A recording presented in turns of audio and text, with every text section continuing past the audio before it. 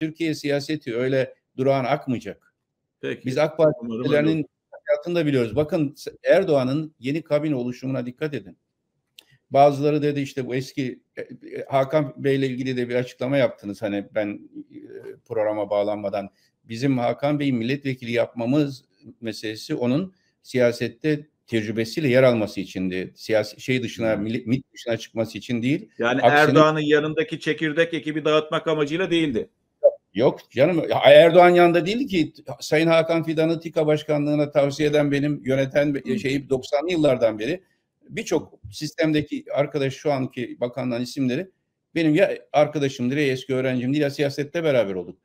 Erdoğan niye bu kulvara döndü? Bakın benim bizim 2016'da beraber çalıştığımız arkadaşlara bakın. Ben tasfiye edilirken hepsi görevden alındı. Şu anda geri getiriliyor hepsi.